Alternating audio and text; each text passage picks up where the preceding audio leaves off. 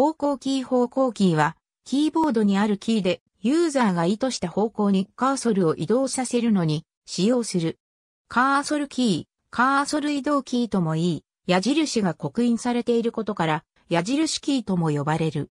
多くのキーボードの場合、方向キーは、キーボードの下部のメインキーと点キーの間に配置されている。の4つのキーがセットになっている。逆向きの T 字型にキーが配置され、上、は、下、は左、は右に配置されることが多いが、ひし形に配置したり、横並びに配置しているキーボードもある。専用の方向キーのないキーボードの場合は、点キーで代用できることが多く、の役割を果たす。オリジナルの Apple Macintosh、方向キーが存在しない。マウスが普及する以前、方向キーはスクリーンでカーソルを動かす主要な方法であった。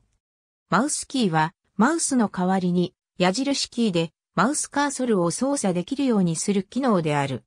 アミーガにはミカウスのワークベンチ上でマウスカーソルを方向キーで動かすためのアミーガキーがついていたが、大半のゲームではマウスかジョイスティックが必要だった。1980年代後期から1990年代初期にゲームにおける方向キーの使用が再び一般的となった。また、方向キーの代わりにダイヤモンドカーソルも使用できた。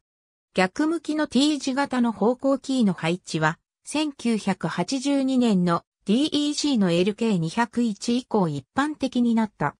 コモドールの一部の8ビットコンピュータでは、方向キーが2つだけであり、シフトキーを使って上下と左右を切り替えていた。オリジナルの Apple Macintosh には方向キーがついていない。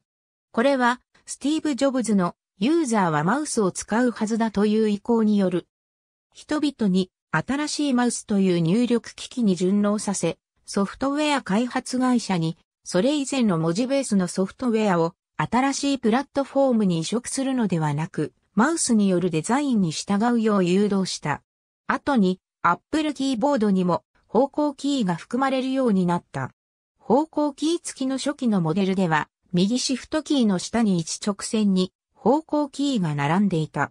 後のモデルで逆 T 字型の配列になったが、キーの大きさは縦の長さが他のキーの半分になっている。ありがとうございます。